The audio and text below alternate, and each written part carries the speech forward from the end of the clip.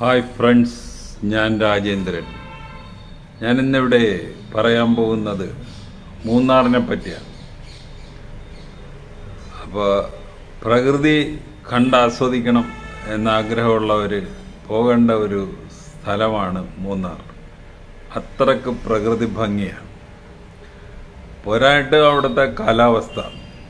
കാലാവസ്ഥ എന്ന് പറയുമ്പോൾ നമ്മൾ പോയ അന്ന് അവിടെ വെളിയിലോട്ട് ഇറങ്ങിയ സമയത്തുള്ള ടെമ്പറേച്ചർ എന്ന് പറയുന്നത് പതിനെട്ട് ഡിഗ്രി ആണ്. അപ്പോൾ നമ്മുടെ ഇവിടെയൊക്കെ ചുട്ടുപൊള്ളുന്ന ചൂടത്ത് അവിടുത്തെ ടെമ്പറേച്ചർ അതാണ് അപ്പോൾ ചൂടറിയത്തേയില്ല പോരായിട്ട് നമ്മൾ ഈ ഭംഗി കണ്ട് കണ്ട് നടക്കുമ്പോൾ അറിയാതെ ക്യാമറ എടുത്തു പോകും. അത്രയ്ക്ക് സൗന്ദര്യം വഴിഞ്ഞൊഴുകുന്ന ഒരു സ്ഥലമാണ് ഈ മൂന്നാർ. ഇത് ഫ്ലോറി കൾച്ചർ സെന്റർ.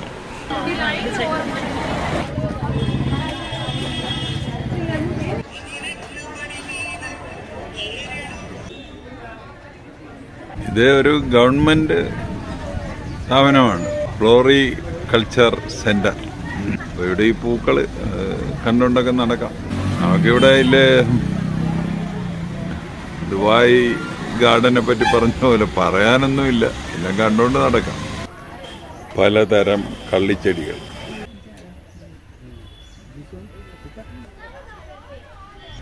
വന്ന് വിട്ടിരിക്കുന്ന ഒരു എലിഫന്റ് പാർക്കാണ്. ഇത് എലിഫന്റ് ഫീഡിങ് ഏരിയ ആണ് ഇപ്പൊ ആ എലിഫന്റ് അകത്തോട്ട് പോയത്. ഇവിടെ ഇഷ്ടം പോലെ ആനകളുണ്ട്. ഈ അമ്മ ആനപ്പുറത്ത് കയറി നമുക്ക് സവാരി നടത്താം. അതാണ് ഇവിടെ. ഇതാണ് ഇവിടുത്തെ ടിക്കറ്റ് കൗണ്ടർ അപ്പൊ രണ്ടാനകൾ ട്രിപ്പ് ട്രിപ്പും കഴിഞ്ഞിട്ട് വരികയാണ്. എലിഫന്റ് പാർക്കിന്റെ എൻട്രി അടുത്തത് നമ്മൾ കാണുന്നത് ടാറ്റ ടീ മ്യൂസിയമാണ് അതിൽ നമ്മൾക്ക് ടാറ്റയുടെ ഒരു സെയിൽസ് കൗണ്ടറുണ്ട് പിന്നെ അവിടെ നമ്മുടെ കൊളുന്ത് എങ്ങനെ ചായപ്പൊടി ആക്കി മാറ്റുന്നു എന്ന് കാണിക്കുന്ന ഒരു ആ- ആ പ്രക്രിയ മൊത്തം കാണിച്ച് അടുത്തത് കുണ്ടള ലേക്ക്. ഇതിന്റെ അടുത്ത് തന്നെ മാട്ടുപ്പെട്ടി ഡാമുണ്ട്.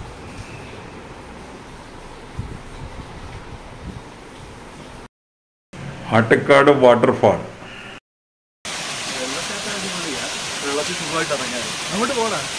ഇവിടെ തന്നെ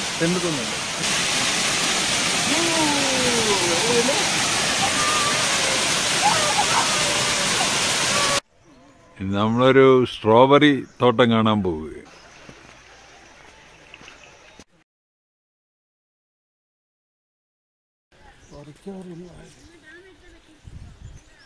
ഇതാണ് സംഭവം. സ്ട്രോബെറിയുടെ പൂവാണ്.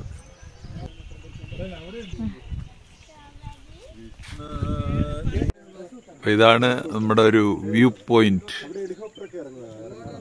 അപ്പോൾ അവിടെ പക്ഷെ ഈ മിസ്റ്റായി പോയിരുന്ന കാരണം അത്ര ക്ലിയർ ആകാൻ സാധ്യതയില്ല. പിന്നെ മഞ്ഞ് അങ്ങനെ കിടക്കണ കാരണം അതിന്റെതായിട്ടുള്ള ഒരു ഭംഗിയുണ്ട്. നോക്കി നിന്ന സമയം കൊണ്ട് മിസ്റ്റ് അങ്ങ് പോയി. അടുത്തായിട്ട് നമ്മളൊരു ഫാം വിസിറ്റിന് പോവുകയാണ്.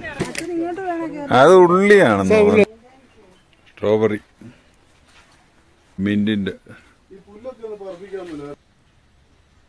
അവക്കാഡോ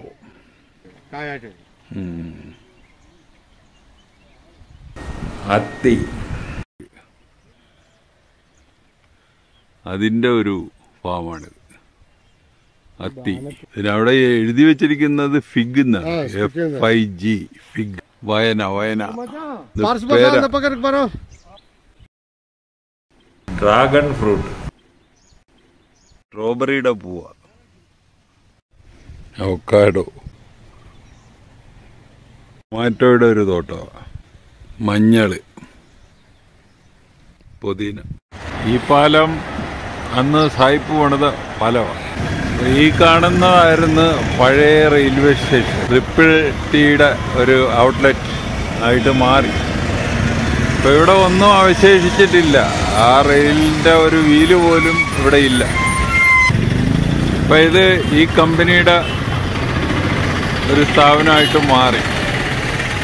ഇവിടെ ഇപ്പോൾ ആകെ ഉള്ളത് പഴയ ഈ board മാത്രമുണ്ട്. Old railway garden. Bhairavikulam national പാർക്കിലോട്ട് നമ്മൾ കയറിക്കഴിഞ്ഞാൽ നമുക്ക് വരാടുകളെ കാണാം. വ്യൂ പോയിന്റ് ഉണ്ട്. പിന്നെ ഫോറസ്റ്റ് അപ്പൊ ഇതിൽ സൂക്ഷിക്കേണ്ട ഒരു കാര്യം എന്ന് പറയണത് ആന ഇറങ്ങണ സ്ഥലമാണ്.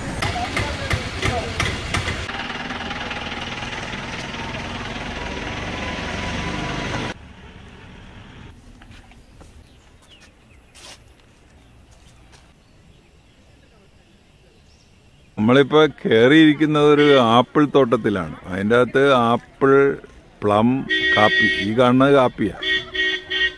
ഇതാണ് കാപ്പിയാണ് ഇഷ്ടം. ഉറ്റു പോലെ പിടിച്ചിരിക്കുന്നത് പുറയിൽ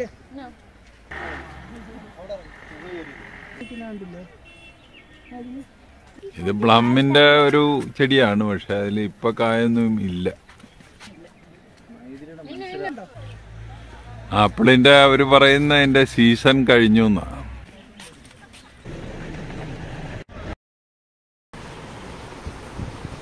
അടുത്തതായിട്ട് നമ്മൾ വന്നത് മറയൂർ എന്ന് പറയുന്ന സ്ഥലത്താണ്. അവിടെ നമുക്ക് മറയൂർ ശർക്കര ഫാക്ടറി.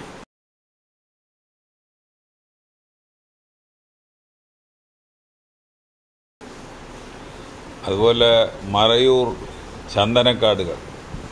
Marayoor sandal forest. പിന്നെ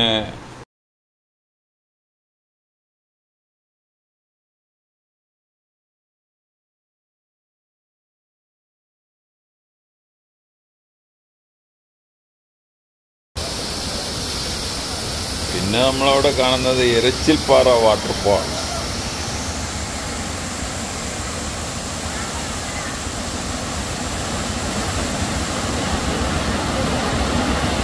കാണുന്ന തേയിലച്ചെടി. അതിൽ നമ്മൾ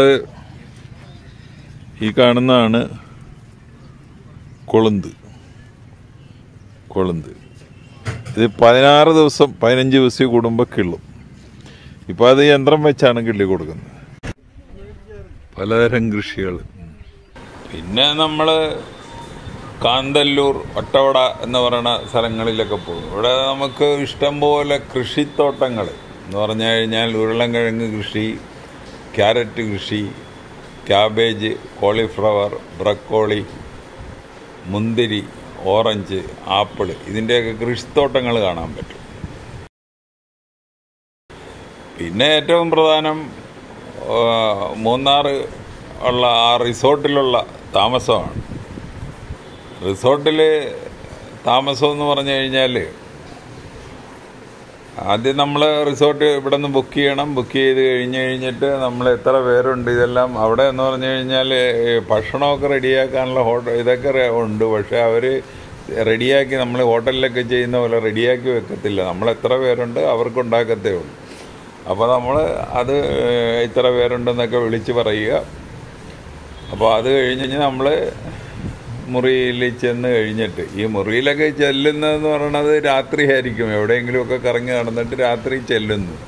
അപ്പോൾ നമ്മുടെ ഭക്ഷണമൊക്കെ അവിടെ റെഡി ആയിരിക്കും അപ്പോൾ അതിനു മുമ്പ് ഈ ഈ തണുപ്പായതുകൊണ്ട് അവിടെ എല്ലാവരും കൂടെ ഈ തീ ഇട്ടിട്ട് തീക്ക് ചുറ്റും കിടന്ന് ഡാൻസ് ചെയ്യുന്നു. അപ്പോൾ അതുപോലെ അടിച്ചുപൊളി പാട്ടുകൾ ഇട്ട് കൊടുത്തിട്ടാണ് ഇവർ ഇതിന്റെ ചുറ്റിനും കിടന്ന് ഡാൻസ് ചെയ്യുന്നത്. അങ്ങനെ എന്തുകൊണ്ടും ഒരു രണ്ട് മൂന്ന് ദിവസം ആസ്വദിച്ച് തിരിച്ചു വരാൻ പറ്റിയ ഒരു അന്തരീക്ഷമാണ് ഈ മൂന്നാർ. അപ്പോൾ മൂന്നാർ ട്രിപ്പ് യാതൊരു കാരണവശാലും ക്യാൻസൽ ചെയ്യരുത്. വേറെ ഒരു ഇമ്പോർട്ടന്റ് കാര്യം എന്ന് പറയുമ്പോൾ നമ്മൾ മൂന്നാർ ട്രിപ്പ് പ്ലാൻ ചെയ്യുമ്പോൾ ഈ തണുപ്പിനെ പ്രതിരോധിക്കാനുള്ള സ്വെറ്റർ മങ്കി ക്യാപ്പ് ഇതെല്ലാം കൊണ്ടുപോയിരിക്കണം. അല്ലെങ്കിൽ ചിലപ്പോൾ നമുക്കത് സഹിക്കാൻ പറ്റത്തില്ല. അപ്പോൾ ഈ വീഡിയോ വന്നിട്ട് കാണുകയായിട്ട് കണ്ടിട്ട് നിങ്ങൾക്ക് ഇഷ്ടപ്പെട്ടുവെങ്കിൽ ഞങ്ങളുടെ ചാനൽ സബ്സ്ക്രൈബ് ചെയ്യുക. വേറൊരു വീഡിയോ ആയിട്ട് നമുക്ക് വീണ്ടും കാണാം. താങ്ക്